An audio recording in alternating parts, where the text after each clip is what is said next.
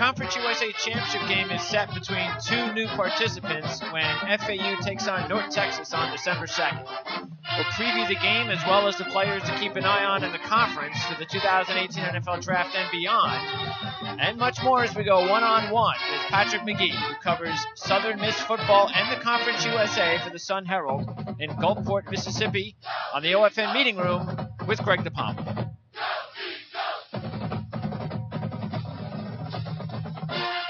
All right, it's November the 21st, 2017. I'm Greg DePalma. Thanks for tuning in to the OFN meeting room as we talk CUSA football with Patrick Magee. Patrick, thanks for joining us today. Thanks for having me. All right, Patrick. So uh, I, I, guess right off the bat, I got to ask you. Uh, you know, of course, I, I just played the, the, Southern Miss fight song. I know they're not in the championship game, but uh, they, they, have been in the most championship games in the conference. Three appearances with one win. Are you a grad? Uh, yeah, actually, I did go to Southern Miss. I graduated back in 2001. Up in, I, I covered Southern Miss really by the time I was in college up to now. So I've awesome. Uh, developed a pretty good, pretty good knowledge of the program in the last, at least last couple of decades. Well, that, that so so so for, for for anybody out there that's like a, a player that's like that's like playing football for for uh uh for, for I don't know uh let's just say playing football for uh, University of Tennessee, and then uh, and then uh, playing football uh, in the state of Tennessee. W- would that be correct? That's that's like what you're doing. You just go from college right to the pros, staying in the same college. Yeah, yeah, I guess that something like that. Be, be, a good way to put it. Yeah. All right. So let's uh, talk about. Well, first of all, North Texas and FAU. Wow. Uh, anytime you get parity like this, it's always good for the sport and uh, Mm-hmm. both teams new uh, to this championship game. Uh, start first of all with North Texas and Seth Littrell doing a fantastic job there. Uh, we know what kind of a program they were under Dan McCarney some years back when, when they were the top team in the Sun Belt. Uh, you think that this is now the beginning uh, of us seeing North Texas as a dominant team in this conference? Yeah, well, as long as Littrell's there and, and got the offense going as, as well as it is at the moment, I think they're going to be in the contention for a, conference championship year in and year out. Now look at Seth Littrell; he was on Larry Fedora's staff in North Carolina, and I see a lot of similarities between this North Texas team and the and the type of team that Larry Fedora had at, at Southern Miss. A pretty good stretch. He had four year stretch at Southern Miss. Uh, Littrell's offense is explosive. Mason Fine uh, the quarterback is a perfect guy. Not you know not your prototypical. He's not even six feet, I don't believe, but he's a good athlete, really good leader, really good passer. Uh, so as long as he's got a quarterback plugged into that system uh, with really good skill players around him, uh, they're going to really score points. You know, much like Larry Fedora do, has done at North Carolina and Southern Miss. So uh, North Texas is a very potent team, a little banged up going into the championship game, but okay. uh, Littrell has done a fantastic job there. Really turning things around in a pretty quick fashion. I mean, it was a di- you know pretty different style of football before he got there, so it's pretty impressive how he's really been able to instill his program pretty quickly. Yeah, and matter of fact, North Texas is the second highest scoring team in the conference to FAU, who we'll get to in a minute. Um, uh, but it's not just Mason Fine, as you know. Jeffrey Wilson's having a fantastic season. He's the number two rusher in the conference uh, to uh, Singletary on FAU. But uh, Jeffrey Wilson's got over 1,200 yards rushing and 16 touchdowns. Uh, now he's a senior, so uh, what do you think about Jeffrey Wilson? Is he somebody that uh, maybe be able? Do you think he's probably just a, a maybe a priority free agent at the best uh, as far as the NFL is concerned? Is this a guy that could make it to the NFL? Uh, I mean, he's. I, I think the the knock on him is he's been injured off and on, and, and he's a question mark for this game, uh, uh, for the championship game as well. So, okay. Uh, yeah, I mean, he's a he's un.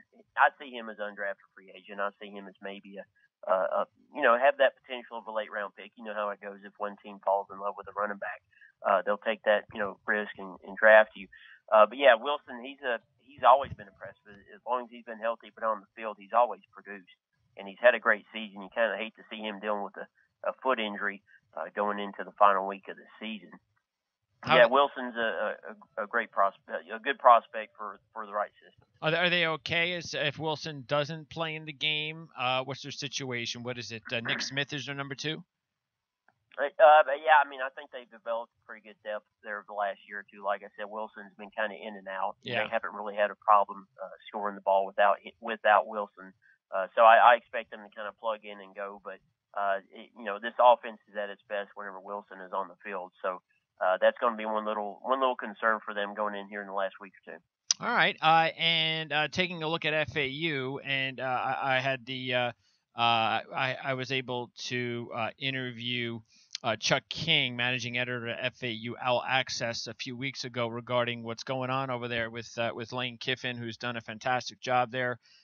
In in just one season, it's been an incredible turnaround. Now the question is, is how long does Lane Kiffin hang around? Yeah, yeah. I mean, I I, I think I see Wayne uh, Lane hanging around for one more year. Okay. Uh, it's another one of those situations where athletic directors are wanting to see, uh, wait and see on Lane. Uh, I don't think anybody's going to jump in right away. Uh, I think they want to see how he matures as a head coach and and and how he handles his system. It's just been one year. Of course, they're winning on the football football field, but I think a lot of athletic directors want to see how he conducts himself away from the field over the next year or two, and maybe they want to uh, take some time and see how he does in that regard. But yeah, Lane's going to get a chance somewhere else. He's done a great job. He put together a, a pretty talented staff at FAU, and I think that's played out uh, for the Owls. I think uh, Lane's shown a lot this year, but you know, I, I'm I'm not really convinced that he's going to be a one done guy. All right. Well, the best player on the team. Do you think uh, that Devin Singletary is the best player in the conference? Well, he, he, you know, it's hard to make a case against him as the MVP this year. I mean, he's been the the best offensive player on the best offense in the conference. Uh, so yeah, I would say that he's going to be a really serious candidate for for Player of the Year. I can't really think of anybody that would eclipse him uh, at this point for you know uh, offensive Player of the Year. So yeah, I, I think that's very best. But he's headed to what you know, finishing there with maybe 1,800 yards, maybe as many as 1,900. So he's been outstanding. They built his, their offense around him. Yeah, so I mean, it's really uh, interesting because you do have uh, again FAU's the top scoring team. North Texas is number two. Both of these teams uh, being the highest scoring uh, uh, clubs in the Conference USA by over seven points a game to the third ranked highest scoring team. So it just shows you how much more offensive output you have from both of these two teams in the championship game. Uh, and of course, they've got the best players offensively with Singletary, as we just mentioned. He's got 24 rushing touchdowns, Jeffrey Wilson, Mason Fine, and such. Uh, as far as the game itself, you got FAU beating up on North Texas. Uh, what was it? Late October at FAU, they win the game 69 to 31. So a yeah. uh, little bit of revenge in the minds of North Texas, I would imagine. But we don't also know where this game is going to be played yet, right? No, it's gonna it's gonna be taking place in Boca. Oh, it is. Uh, so that's so North Texas has got to make that trip again. Uh, and with uh, Wilson being uh, banged up and Jalen Guyton uh, is in concussion protocol this week, so uh, it's it's a difficult you know it's a tall mountain for uh, North Texas to climb going back down there, but I don't expect a 69 to 31 game. I mean that would just be unusual. You know North Texas is very much uh, capable of hanging with an FAU talent wise and and overall. But you know, FAU's rolling uh, for many weeks now. Uh, North Texas has just had the occasional hiccup, while uh, FAU hasn't lost in a very long time. Uh, losing on the road to Buffalo, which you know Buffalo was a, a pretty competitive MAC team. That's just a tough sure. trip to make. Uh, lose that game, so I don't really knock Lane. If you look at it, I mean, even Wisconsin and and Navy, they were in those games uh, for the most oh, part. Yeah. So uh, you, you just saw this team really turn the corner once they came out of non-conference and got into the conference play that offense was just rolling once they kind of found the quarterback they needed and Driskel and the and, and, and the way Singletary got going. This offense is just hard to stop right now, and I'd I'd have to make FAU a considerable favorite on its home field in the conference title game. Yeah, and even North Texas uh, had some good losses uh, to uh, SMU and Iowa on the road. So the two best teams are definitely playing each other in the championship game. Uh, talk about the uh, the so right now, I, I, your article on Friday uh, you talked about possibly nine teams projected uh, uh-huh. as far as eligibility. Uh, now you look at it as of right now today, there are eight. So it looks like with the three teams left, Middle Tennessee, Old Dominion, and uh, Louisiana Tech at five and six. Uh, do you think we're still going to get at least nine, or could we get ten or eleven? What do you think based on the games this week? Uh, I think I think we'll have a good chance at, at ten bowl eligible, but you know it's going to be hard for all 10 to get in. I mean, they may very well. It just depends on how things shake out. I think they're projecting there's going to be 78 spots filled nationally.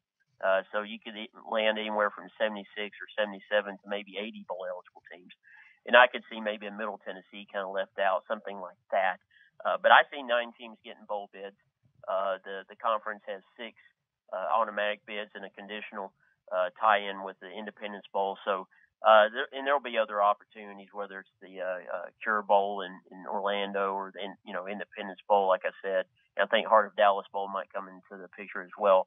Uh, so yeah, I mean, I think I think as many as nine go, and that would that would be far and away a conference record. It's unusual uh, to have as many as ten bowl eligible teams within a 14 yeah. team uh, conference USA. A, a great deal of parity, the most parity parity I've really ever seen in the conference. Of course, the bottom three teams are pretty bad, uh, but really the top 10, 11 teams are pretty much on level uh, with the three or four top teams. You know, being really quality, whether it's Southern Miss, North Texas, uh, FAU, and UAB, have all had pretty good seasons. And you have a, uh, I, I guess, a, an elimination game this week with Old Dominion at Middle Tennessee, uh, with both yeah. teams sitting at five and six. Uh, with Louisiana Tech getting the home game uh, against uh, Texas San Antonio, who just became bowl eligible last week on a last second field goal. So uh, that make that might make things a little bit easier for Louisiana Tech with uh, Texas San Antonio knowing they're already in. Yeah, it takes the pressure uh, off of San Antonio where they had to go in their win. Uh, that was a nice win to beat Marshall last week. Uh, uh, Tech's been really a strange team, but you know, I, knowing Skip Holtz, he's going to have his guys ready to go, and I expect yeah. them to find a way to win that ball game.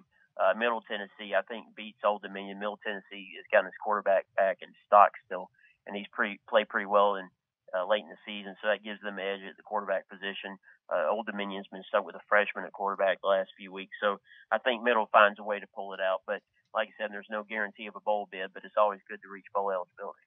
All right, now uh, let's go through the conference. And uh, uh, last year, uh, Western Kentucky. I mean, wow, uh, it's it's amazing how things change when when when when your coach leaves. Uh, and and Brohm has done just an incredible job already with Purdue. we know what he did at Western Kentucky, so that's looking like a great hire at Purdue. Mike Sanford takes over. doesn't have the experience, young guy. Uh, and they've had their difficulties this year, even with Mike White coming back as a senior. And I do believe that Mike White is one of the top uh, prospects at Ourlads uh, for seniors coming out. White is the number five senior quarterback prospect. Uh, the top one is Will Hernandez. We'll get to him in a little bit. But um, yeah, um, with Mike White there, you know, you still would have thought, okay, Western Kentucky probably, you know, be up there uh, contending for another championship. But uh, boy, right off the bat, they they just struggled. Are you surprised how much they struggled this season? Yeah, I thought they would be better. You know, I expected a slight step back just because you got that transition to a new staff, and I'm sure there were you know fairly significant changes that that went into the system. But I am surprised uh, White's had a pretty good year. I don't think there's really any reason to doubt him as far as a prospect uh, coming off this season. But the team overall has underachieved.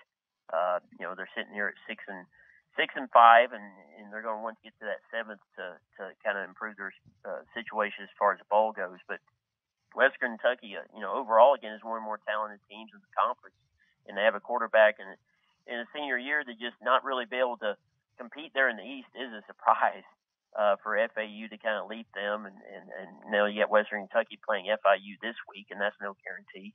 Uh, so yeah, Western Kentucky has kind of taken a step back this year, and I think maybe we saw that at Southern Miss last year uh, with Jay Hopson coming in his first season as head coach, just a you know an adjustment period to a new staff. So I guess maybe you can just kind of talk it up to a, to a young coach uh, coming in, kind of feeling his way in his first year. Uh, you've had an opportunity to see uh, Mike White at all, uh, you know, the last couple of years. I know that uh, now Southern Miss hasn't played them uh, the last couple of years, mm-hmm. have they? Yeah, I have. I've seen him. You know, just what I've seen on TV. Yeah, I mean, he's kind of the prototypical. I mean, he just really fits the the bill. You know, at South, he was a transfer coming out of South Florida, and uh, he just plugged right into Brohm's system and, and was perfect. Uh, so yeah, White, you know, six five, uh, really good arm, uh, good leader, throws is pretty darn hack- accurate. I'd say he's maybe a little bit more accurate uh, than Do- Doughty was, who's now with the Dolphins. Okay. So, uh, yeah, I, I like White a lot. I think he's somebody that's going to find a spot somewhere. All right. Uh, another team uh, that uh, you just mentioned, uh, Middle Tennessee State, and uh, maybe we weren't surprised about the outcome last week with Stockstill back. Uh, that these two teams mm-hmm. put up a ton of points and the game went to overtime. Uh, so yeah, uh, yeah, yeah, that's what happens, right? So how's Stockstill? He's he's better, which is good for the good for the team, good for him, good for the conference.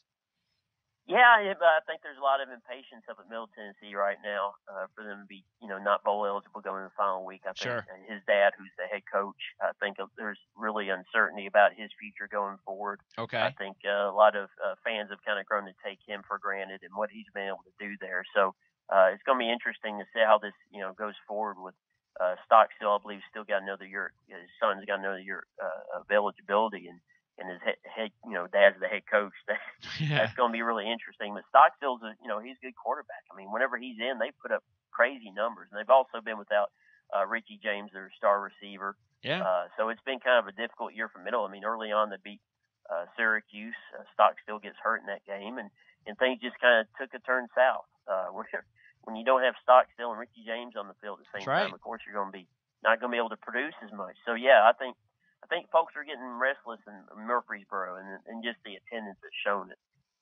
And what about also uh, another coach that's been around for a while at Marshall is Doc Holliday. Uh, he's done a great Mhm. job uh, with that program. And uh, maybe again, maybe a situation where uh, they had uh, may- maybe some better aspirations, especially with uh, things not going well with the injuries to Middle Tennessee and the coaching change to Western Kentucky. And uh, actually, you kind of looked at Marshall. I mean, early on this season, uh, and actually for, for most of the season up until that FIU game, you know, you thought things were going pretty good because they only had that one loss, which was a good loss at North Carolina State. But then that FIU game, that loss there, and then all of a sudden you lose back to back, you lose three out of four, and the season uh, really changed uh, over the past month. Yeah, I think the the early uh, record for Marshall might have been a little deceiving. I mean, they played well, uh, but the schedule was somewhat soft. They beat a, a you know a Cincinnati team that's really had a, a rough season uh, there in their Luke Fickell. So it's I, I think Marshall just kind of hit a wall a couple of weeks ago against FIU, and you saw them only what they only had seven points at San Antonio Yeah. uh, last week. So Marshall is just kind of in a, in a, going on a bad trend. Uh, I like Southern Miss to go up there and beat them this Saturday. Southern Miss's offense has has played really well since Kwadra Griggs uh, returned at quarterback after missing time with injury. Uh, they scored 66 against Charlotte and at Rice. They, you know, I don't think they ever punted at Rice. So the offense for Southern Miss is going really well, and I think I think Southern Miss has a good chance to go up there and, and get a big win on the road at Marshall. It's just a team that really I'm not sure what the answer is. It's not real like the injuries have been bad. Litton's still at quarterback. And all this is just, I don't know. It's, they just kind of seem to be running out of steam at the moment. Uh, let's talk about uh, ODU because they've got a couple of senior prospects to keep an eye on for the NFL draft. Running back uh, Ray Lawry and uh, Mhm. Bunmi uh, Rotimi, uh, the defensive end uh, who's ranked 11th uh, at Ourlads as a senior defensive end. Now I know both guys have had to deal with injuries uh, this Mhm. season. Uh, but Lawry, I mean, he's been very productive for four seasons uh, throughout the injuries, of course. Uh, that's going to happen. But uh, what do you think about uh, those players, or what do you think about Lawry, especially? Well, La- uh, Lawry is somebody I think I've seen play a lot uh, via film, you know, TV or whatever, and he's he seems to kind of fit the mold of what you want. Really good size, has good pop, good you know, good size, really kind of good uh, uh, uh, center of gravity to him. I, I like him a lot as as, as potential next level guy in play there. I think he'd probably be a free agent pickup. Uh, just like you said, point out the injury aspect. He's been dealing with that this year. So I think Lawry definitely gets a look, but I can't see him being drafted.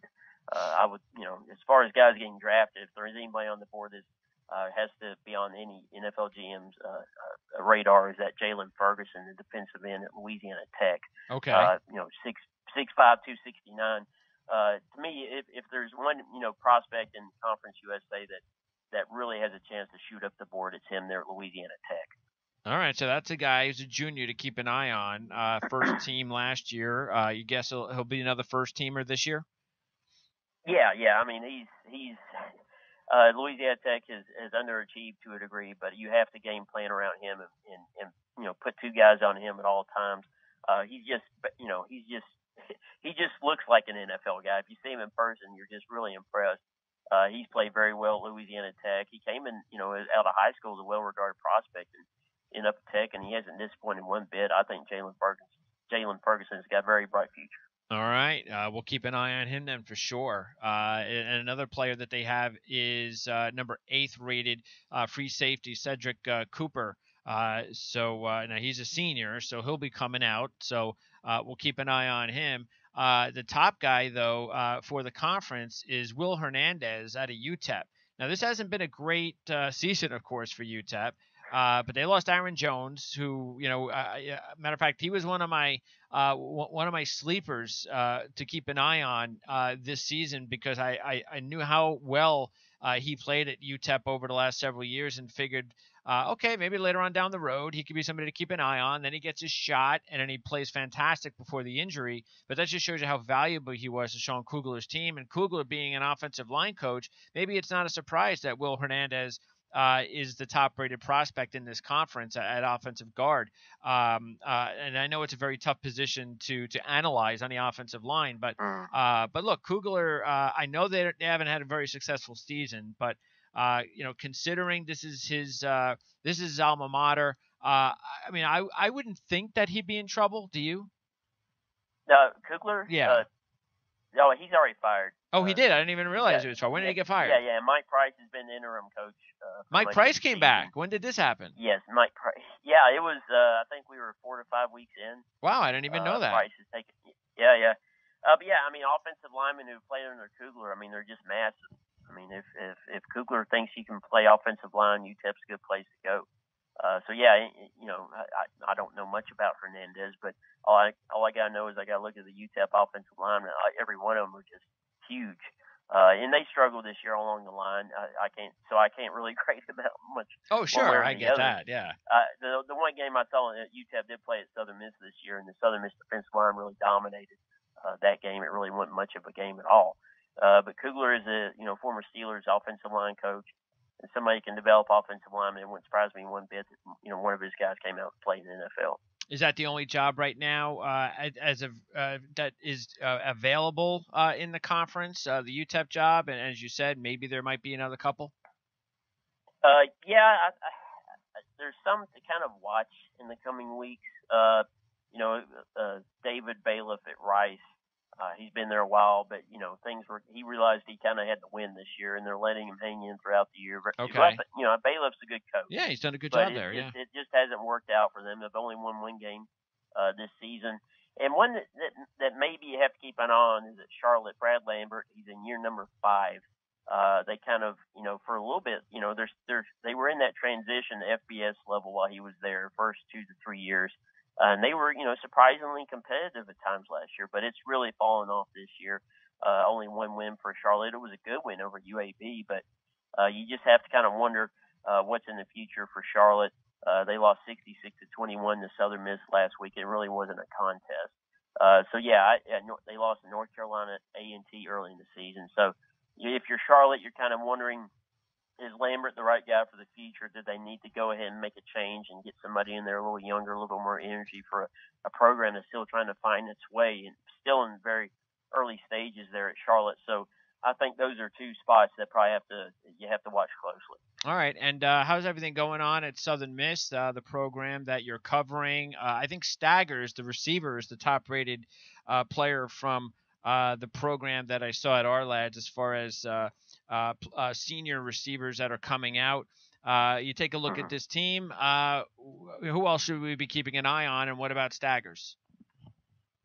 Actually, it's another receiver I think that's really come onto the scene this year, Korey Robertson.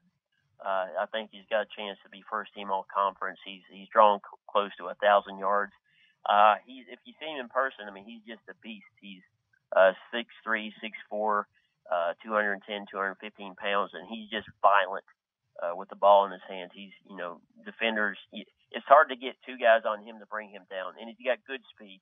You know I don't think he's going to show up at a combine and and run a true four five or something like that. But he's you know four six. He probably tops out at four five five, something like that. Okay. Uh, great hands. Uh, he just really kind of took off this year. Uh, Staggers has had a decent year, but he's had to kind of take a, uh, a step back and kind of let Robertson go because I mean he's just been outstanding.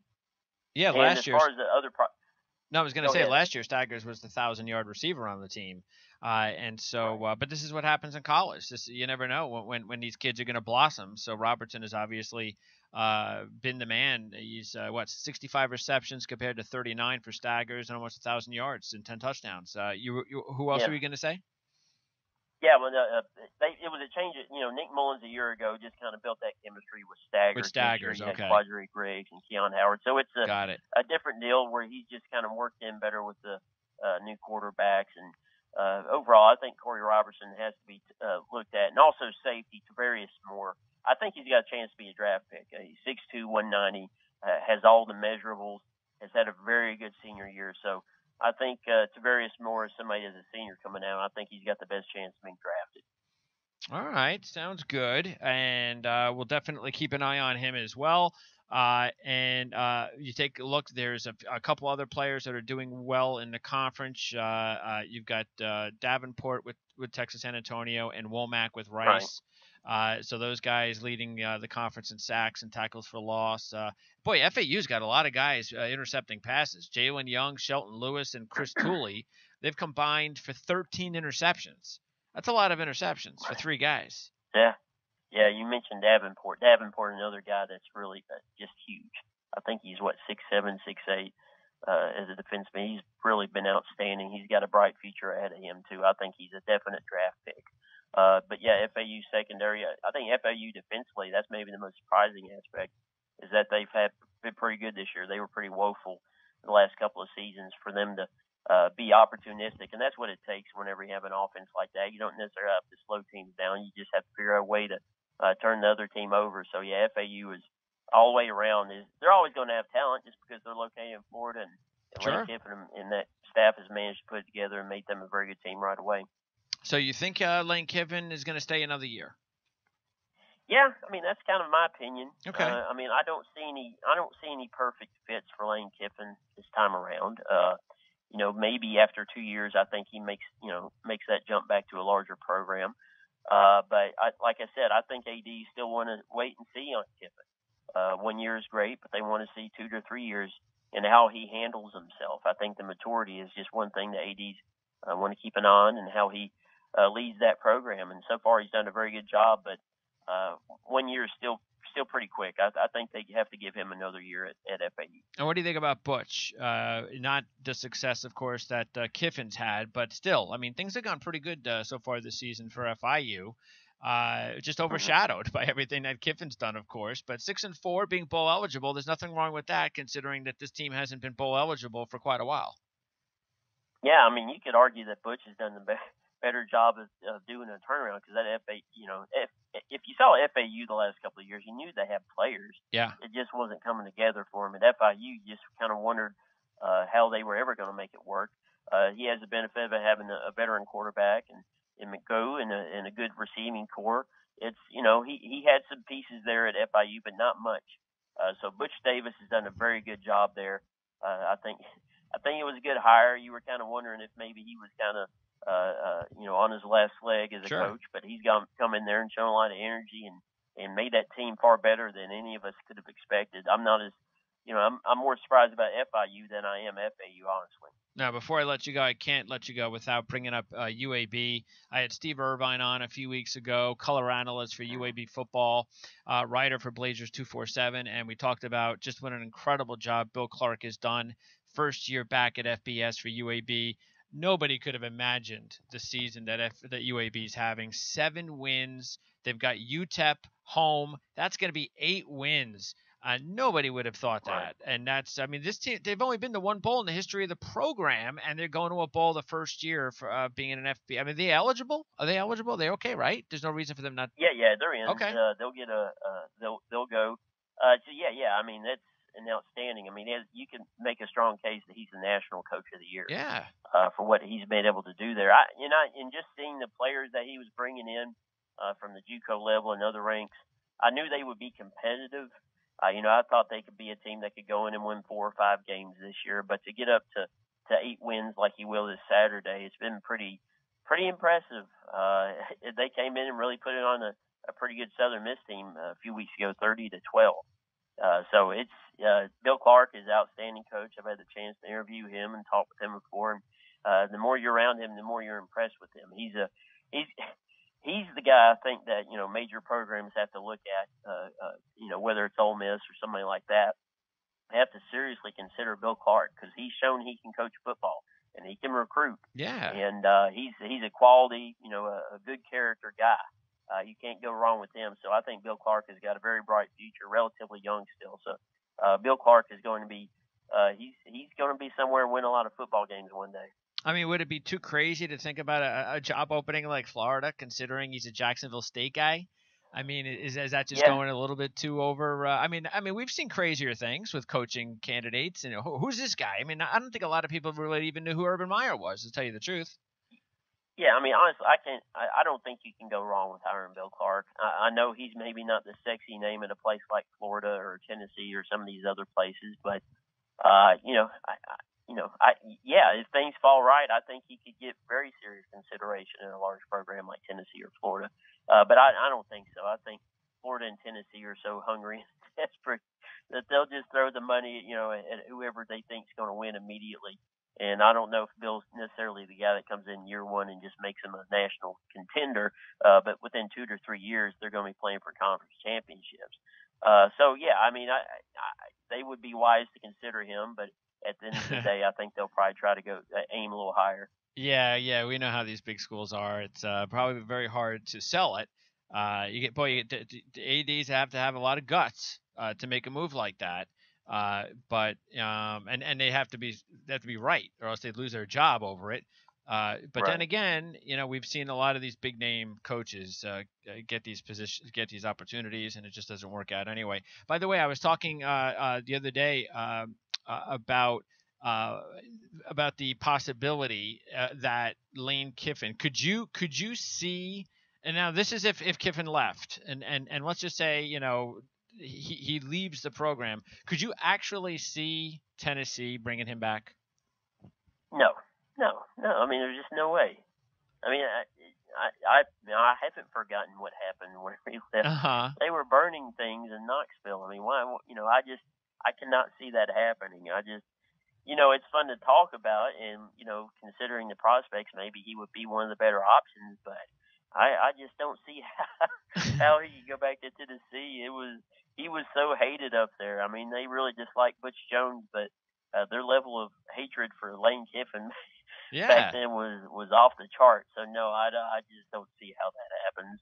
There's too many people up there that haven't forgiven him to this day. Yeah, I mean, I had a, a, one of our guest writers on the other day, and he, and he threw out the possibility of uh, you never know. Uh, they're so desperate for winning. Some of them have already forgiven him, but uh, yeah, I figured it sounded like a crazy idea. Uh, and and I know, of course, you you know these guys uh, covering them all year, and uh, I mean, what what you said sounds sounds reasonable. Uh, that that Kiffin needs uh, he needs some time. Uh, you Right. you see one year sometimes, and I, I was surprised that Sarkisian got the job uh, as quickly as he did, especially from one from Alabama to the NFL. I mean, so fast, and and and he's had just had some personal problems. Like I get that, but but you know, and sometimes you got to give these guys some time, or or, or at least you think they sh- they need the time themselves to get their life straightened out. Mhm. So Right. And with Lane, I think he needs you know a little bit of time at FAU. I, he, he needs to be humbled, and I think he's already had some of that. But uh, he needs to kind of settle in and, and, and figure out what kind of a head coach he wants to be. Uh, but just because he's just moved around so much from from job to job, uh, he's never really been able to kind of develop his you know uh, uh, you know develop the ground level you know what he wants to do as a program. He's just moved around so much. So I think he's still got some learning to do as a head coach. Patrick, great job. Thanks a lot. Uh, you're gonna have a. Uh, I'm assuming you, you're gonna be working uh, on a, a championship game preview, bowl previews, things of that nature with the paper. Yeah, well, uh, just over next week, I'll be keeping an eye on the uh, uh, bowl situation and, and looking ahead to the last weeks and how things might shake out. I think I don't think bowls will be totally settled until after the uh, championship game. Maybe we'll find out the, about the Bahamas Bowl this weekend, but everything else. So the postseason picture still got a lot of things to figure out, especially when you got potentially nine bowl teams. So uh, there's going to be a lot to be kind of learned over the next two weeks. All right, Patrick. Well, maybe we can uh, talk to you again before the bowl season starts, uh, or at least later on down the road. Either way, I appreciate your time, uh, and we'll talk to you again some other time. Uh, thanks a lot. All right, thanks for having me. All right, you got it. That is Patrick Magee, and again, Patrick covers Southern Miss and Conference USA for the Sun Herald in Gulfport, Mississippi Southern Miss grad. Uh, so there you go. Uh, that's uh, but the other day we actually what was it? Well, the other day it's Monday. It was yesterday. see, I mean, my my life just spirals. Uh, which is the whole reason I didn't even know Mike Price had taken over interim at UTEP. Uh, but that's also what happens. See, this is, by the way, th- that is a perfect example of why I, I, said this yesterday, and why I say this a lot when I when I like to cover uh, these conferences and these teams, because it, you don't get this information. It's not readily available. You've got to dig for it. I mean, this is an FBS football coach. To me, if any FBS football coach gets fired, and I know there's a lot of positions, but I mean, come on, it's not. I'm not talking about Division One college basketball. And even if I was, I would be saying the same thing to tell you the truth. Even as over what 300, 350, 360 Division One college basketball teams, I say the same thing. If I'm doing a weekly college basketball show and somebody gets fired and they're like uh, the 311th ranked team in college basketball and they fire their head coach, I, I'm sorry, but at some point, and I'm not doing it with five seconds left in the show. At some point, I'm mentioning it. I'm letting it. I might even do it at the open. It's, I mean, I, I just think these just, these things are important. I, I, look, I said it, and I'll keep saying it. Just because you're, you know, not everybody goes to Alabama. Not everybody goes to Ohio State, Michigan, Auburn, all these programs. Uh, they don't have kids going there. I understand the allegiances there. I understand the popularity there. I completely get all of that. Um, but there are a lot of people that go to Conference USA schools. There are a lot of people that go to Sunbelt schools and follow these programs. And, you know, you shouldn't make it hard on them. It, you know, I, it's bad enough. And, and, I, and I understand it.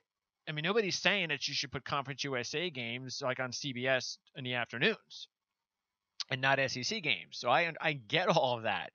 Uh, but do we really have to kind of hide the news regarding what's going on with the rest of these teams? Because when we talk about the draft, uh, and we'll be talking, we talk about the draft all the time on Ourlads. So when we talk about, especially when we get closer in the off season, and then we really start going and digging into these players, you know, just like I said here with Will Hernandez, Will Hernandez, okay, as now this of course could change, but Will Hernandez, the number one senior rated offensive guard in the NFL draft for Ourlads.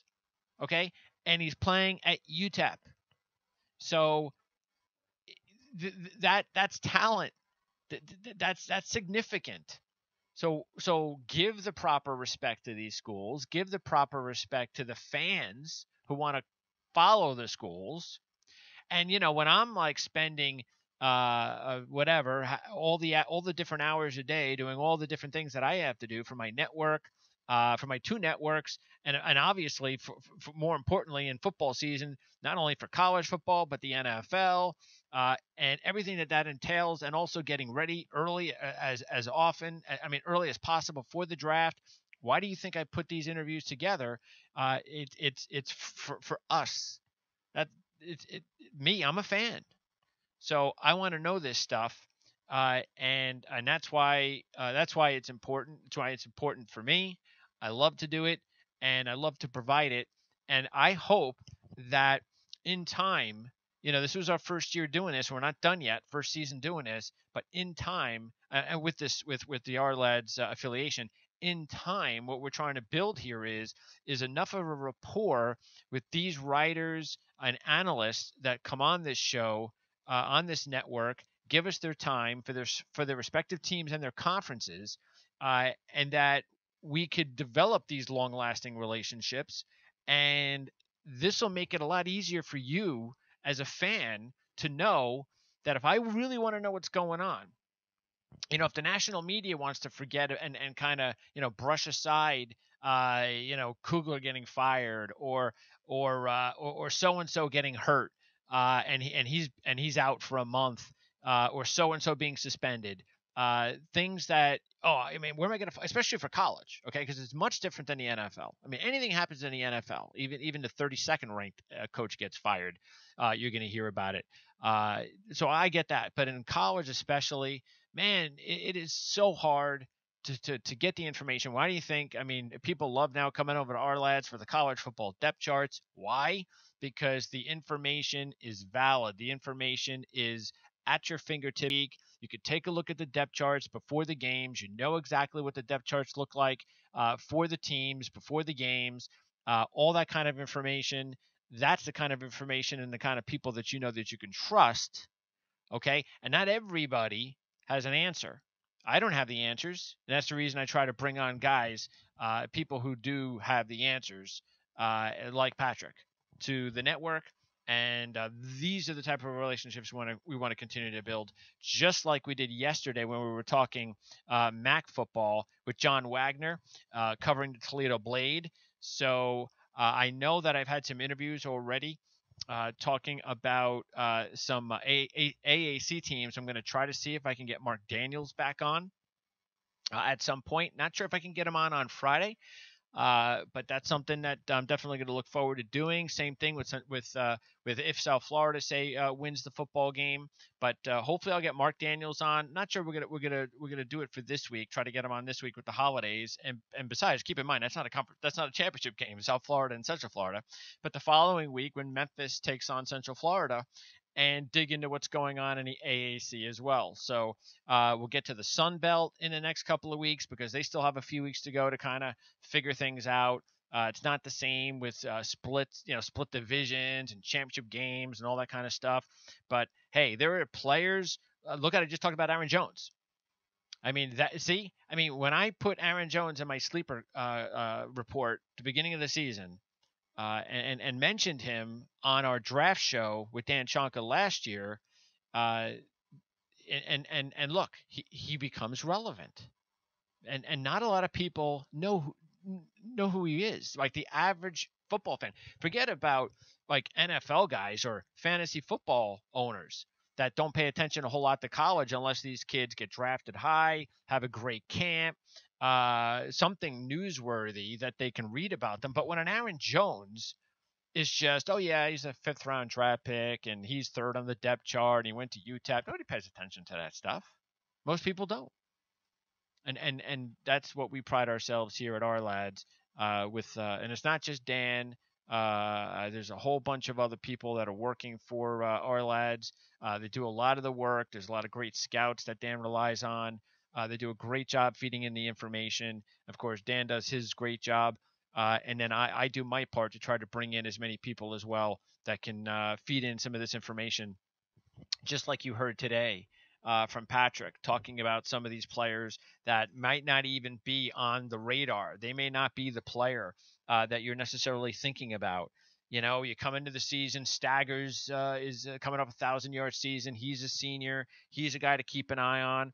Well, hey, we, we got to keep an eye on Korey Robertson. Now he may not come out of come out this season, but maybe he does. We got to keep an eye on him, and and it's great to get Patrick's perspective on that, so you know, okay? Because if we would if we did this last season, I would have been talking about Aaron Jones on this program. I would have I would have probably, and if I would have had Patrick Magee on, we, we, you know, that would have been one of the big topics of the show that we would have just been talking about. And then you would have known way in advance about Aaron Jones. Not that you didn't if you were listening to our draft shows, and then, of course, read the report before the season began, but you get the point. Okay, so uh, great uh, job by Patrick. Uh, we are going to uh, have more programming uh, later on in the week. Uh, especially, you want to be keeping an eye on the programming for the NFL and college football. Tomorrow we'll have our college football uh, week 13 preview, and then on Friday we're going to have our NFL week 12 preview with Tony Meany. Uh, and uh, just stay tuned. Uh, follow us on Twitter at PrimeSN. Remember, we have our meeting room interviews because they can pop up anywhere, uh, and then we'll send it out on demand at PrimeSN to let you know when they're going to be available so you can check them out. Uh, so that'll do it here for the OFN meeting room on the Ourlads Football Radio Network. Uh, we'll see you again sometime real soon. Uh, we'll definitely see you tomorrow for the college football preview show, and then on Friday for NFL preview uh, with Tony Medina. So thanks for tuning in. We'll see you next time.